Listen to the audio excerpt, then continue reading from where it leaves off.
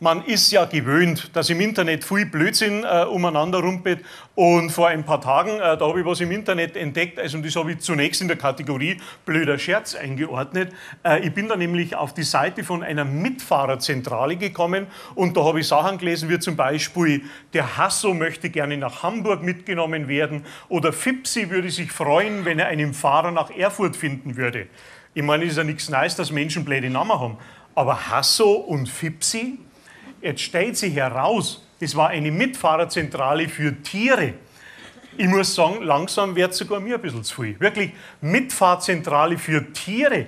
Wer nimmt sowas in Anspruch?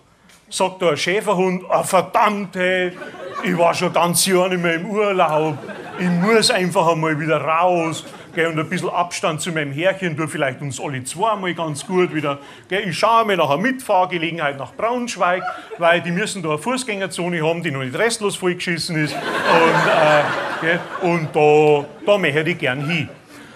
Rein Interesse halber äh, habe ich mich bei dieser Mitfahrzentrale gemeldet, weil ich sowieso ich hab nach Stuttgart müssen, beruflich. Und da habe ich mir gedacht, ja, nimmst halt einmal ein Tier mit. Gell, habe vielleicht den Vorteil, es quatscht nicht so voll auf der Fahrt. Und, äh, und bei dieser Aktion sind genau zwei Sachen schiefgelaufen. Erstens einmal hat sich ein Pferd gemeldet und ich habe bloß einen Fiat Panda. Fast nicht reingegangen. Fast nicht reingegangen. Gott sei Dank war das Pferd sehr gelenkig und äh, das haben wir dann so eigentlich nach hinten und nach vorne irgendwie haben wir es dann doch so neu gewetscht, hat es es dann ein bisschen bequem gemacht und so.